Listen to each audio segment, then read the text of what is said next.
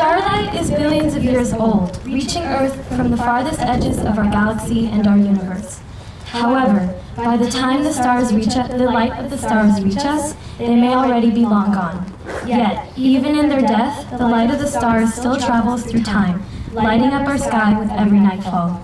When I first heard this in science class in elementary school, I was amazed that we are somewhat able to see into the past. The celestial body may already be long gone, but its light continues to travel and will continue to travel for the rest of eternity. The light of the stars is the only thing that cannot and will not be forgotten because it will be always be around guiding us. As a freshman, I entered CCA feeling very small and scared. I was under five feet tall and faced with 18-year-old upperclassmen with full-grown facial hair. But as the year went on, I got my feel of the campus with the help of the now not-so-scary upperclassmen. And by June, I knew I was in my element. I looked to the juniors and seniors for help on fitting in and finding my way here at CCA. And they selflessly assisted me in any way they could, like stars in the night sky, helping guide me in the right direction. Canyon Crest Academy, while intimidating at first, is a very accepting place to grow up. You can be as expressive as you like, try any weird hair color, wear the clothing you like, and be the person you really want to be, free of bullying.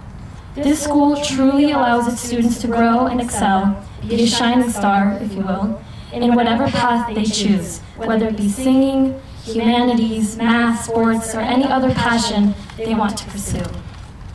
I'm very bad at math, like really, really bad. I took geometry four times. And yet, even by the fourth time, my teachers never gave up on me as a student. Their belief in me helped me persevere and finally pass the class. You know what they say, four times a charm. Well, I haven't always been the best student. I've always had the best teachers. Their love for CCA and passion for education are what make, the, make this school shine as bright as it does. It is frightening to be moving on from high school and into the world of income taxes and having to pay for your own Wi-Fi.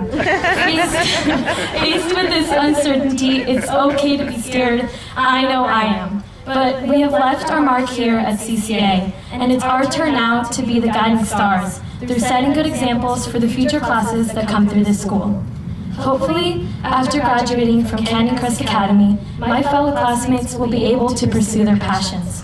Greatness is in our grasp as long as we give ourselves the opportunity to achieve it. Whatever the path these graduates will take after high school, whether it be studying neuroscience, taking a gap year, or maybe finally mastering geometry, I have no doubt in my mind that the Canyon Crest Academy class of 2016 will be a successful one. We are a class of winners. In fact, we never lose.